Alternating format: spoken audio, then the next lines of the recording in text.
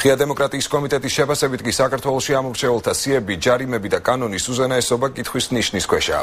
ათეულობით საერთაშორისო ორგანიზაცია ერთი და იმავე პრობლემაზე მიუთითებს მათგან ყველაზე დიდი ორგანიზაციები უშუალოდ ამორჩეულთა სიების სიზუსტეზე, არსებული პოლიტიკური ჯარიმების სიდიდესა და ეგრეთ წოდებულ კანონის შერჩევით გამოყენებაზე ამახვილებენ ყურადღებას. აცხადებს ამერიკელი ექსპერტი ტერი ბენჰემი, რომელმაც კონკრეტული ფაქტები წარმოადგინა.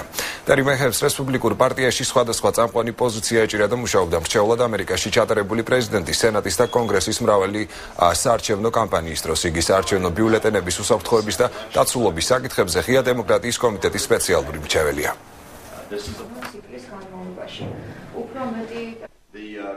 შეშფოთებას გამოვთქვა მორსაკითხთან დაკავშირებით. პირველი ის, რომ არსებობს სერიოზული პრობლემა საარჩევნო სიასთან მიმართებაში. ცესკომ მხოლოდ 3 დღის წინ გამოაქვეყნა საარჩევნო სია, როცა ძალიან ცოტა დრო არჩევნებამდე დარჩენილი.